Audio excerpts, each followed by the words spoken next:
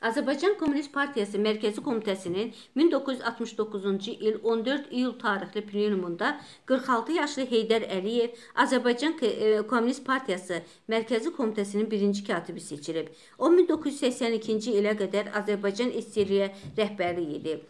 Heydər Əliyevin respublikaya rəhbərlik etdiyi dövrdə idarəçiliyin möhkəmlənməsi, kadrlara qarşı tələbkarlığın artırılması istiqamətində tədbirlər görülüb.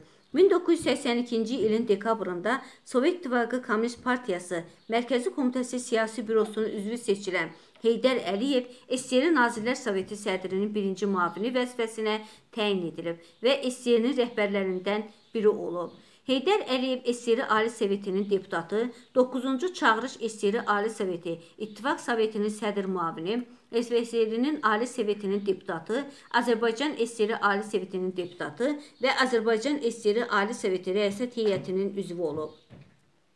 1990-cı ilin iyulunda Azərbaycana qayıdan Heydər Əliyev ilk əvvəl Bakıda, sonra isə Naxçıvanda yaşayıb. Həmin ildə də Azərbaycan El Ali Sovetinə deputat seçilib. O 1991-1993-cü illərdə Naxçıvan Muxtar Respublikasının Ali Məclisinin sədri, Azərbaycan Respublikası Ali Sovetinin sədr müavini olub. Ali Sovetin sessiyalarında fəal iştirak edib. Heydər Əliyev 1992-ci ildə Yeni Azərbaycan Partiyasını Naxçıvan şəhərində keçirilmiş təsis qurultayında partiyanın sədri seçilib.